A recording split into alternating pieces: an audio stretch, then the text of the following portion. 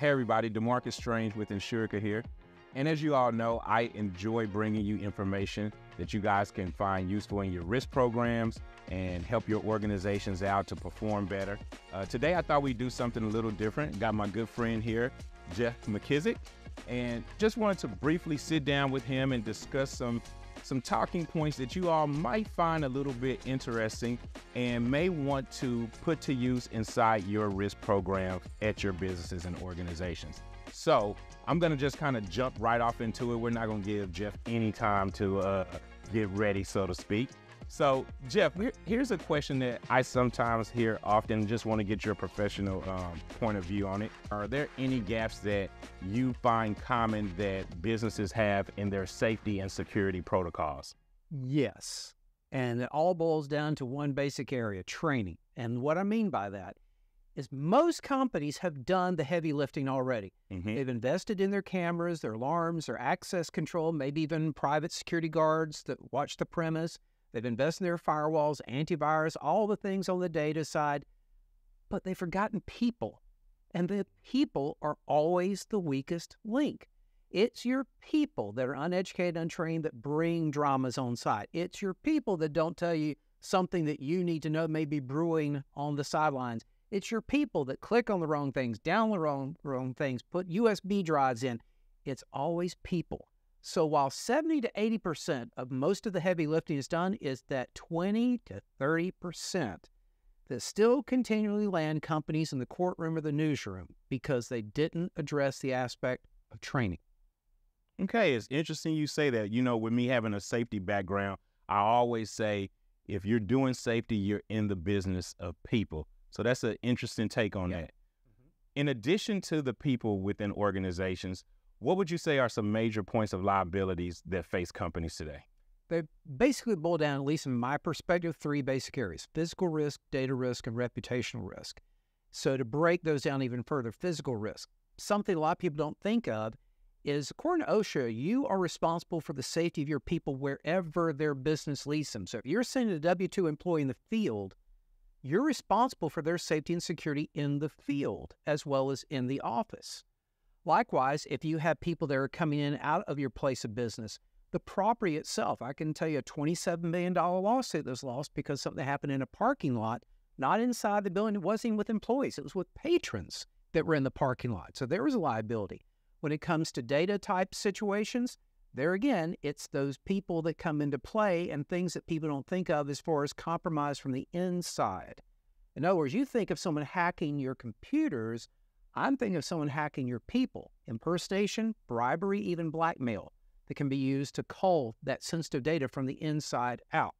And then with reputational risk, oh God, we see this all the time. Now, I just saw a case here in Dallas this week where your employees do something controversial, if not scandal based, on the outside. God forbid they themselves post it on TikTok or YouTube, and now it goes viral, or somebody captures one of your people doing something and they put it on TikTok or they put it on YouTube. And now you have your company owner or public relations team or firm having to answer for an individual's actions because now it reflects upon the entire company. Again, all three of these boil down to people, but in those areas of physical, data, and reputational risk, all three, the weakest link is still the people.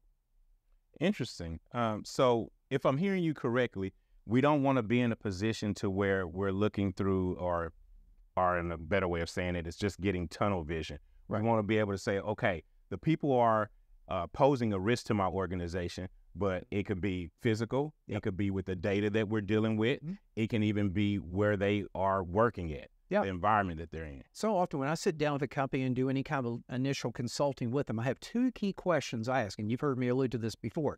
Number one, what do we have here that other people want? Mm-hmm. The reason that's so important is it tells you where you need to deploy various technological assets. If you know what it is, is it money? Is it data? What is it? Is it property? Is it intellectual property? What do we have here that other people want? Now you better learn how to deploy those assets like cameras, alarms, access control, security guards, etc. The second question, much akin to the first, who do we have here that other people might seek to harm?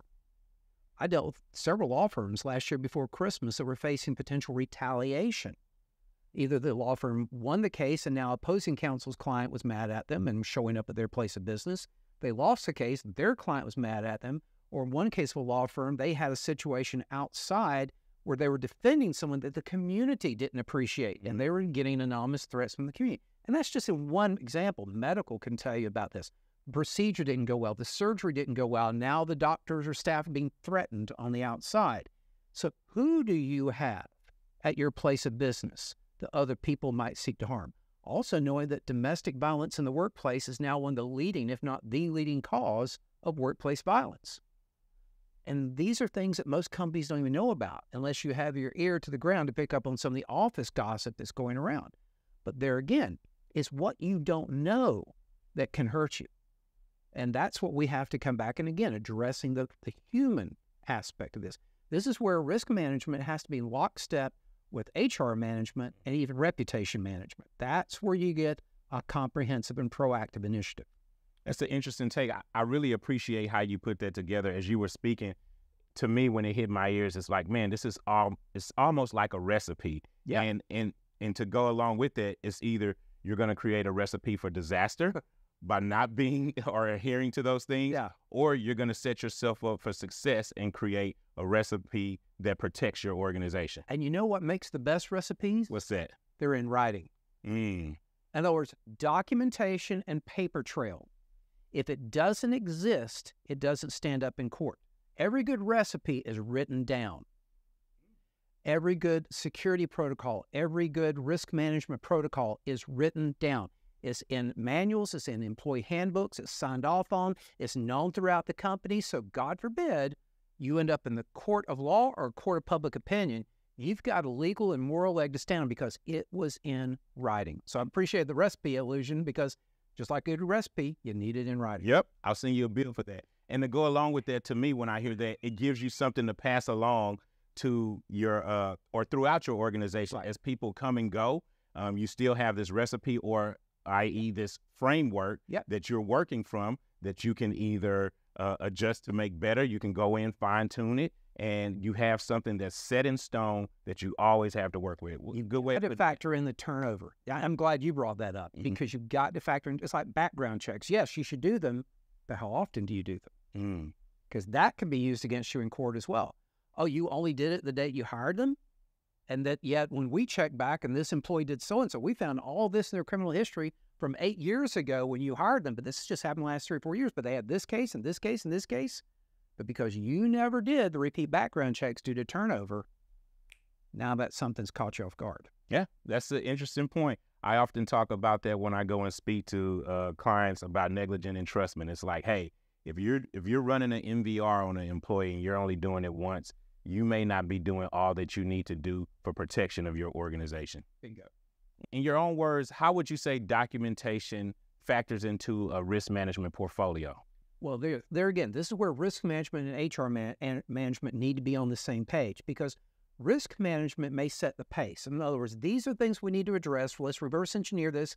Now let's get with general counsel or our outside attorney law firm of, of record and start to wordsmith this. But then it becomes a situation where it goes to HR, assuming the company's large enough to have HR, where this is now indoctrinated into the employee handbook Mm-hmm. the employees have to sign off on and or policy procedures the employee training manual that goes into the actual onboarding of employees or that periodic turnover happens but this is where again we have to have risk management hr management i know you may be on different sides of the hallway but this one time you need to meet in the middle because both entities have to be on that same page and likewise if you do happen to have someone in public relations even companies now are starting because of reputation management starting to incorporate things in employee handbooks and others based on social media protocol Mm. whether on the clock or off the clock and what employees are allowed to and not allowed to post about the company about clients about cases about records whatever the case may be there are protocols from major companies now coming into place so even if you have a situation where you have interior or exterior public relations involved again, reputation management, so it could be PR, HR, and risk management. All of them coming together, everybody being on that same page. And, and you know, Jeff, really to add to what you're saying, it's like I commonly say, good risk management is interaction with the different departments. So it would behoove these organizations to get HR involved or whoever's in the process of creating these documents. Is that something you would agree with? Oh, absolutely. 100%. There again, if you are of a sizable company that have HR, risk management, PR, those three departments should be being on a quasi regular basis just to make sure everything is coming together. But even if not, you have the situation, maybe it's the CFO who's operating as the risk manager in a de facto kind of role, but you have HR. Okay, the CFO and the HR director need to be meeting together to make sure that these things are being addressed and they're being addressed in writing. Okay. All right. So we got one more final question for you. You know you can't give us everything all at one time, and we oh. want the people to come seek you out and get this good information. So last question for you. What are your final thoughts that if you could tell organizations out there one thing, one nugget you want them to leave with, what would that be? Do not expect what you do not inspect. It's a great saying. Well, and I didn't coin it. It's been out there for a while. It's an old sale, saying in sales and management, but needs to be in risk management, HR management as well. Don't expect, do not assume that your people know better. Oh, Lord, the number of times I've sat down with the C suite or management, oh, but our people know better than to fill in the blank. Mm-hmm. And then months later, you found out they didn't know better because no one told them any better. No one showed them any better. So do not expect what you do not inspect. It all has to boil down to that paper trail and making sure, not assuming, but making sure that people know what you think they know.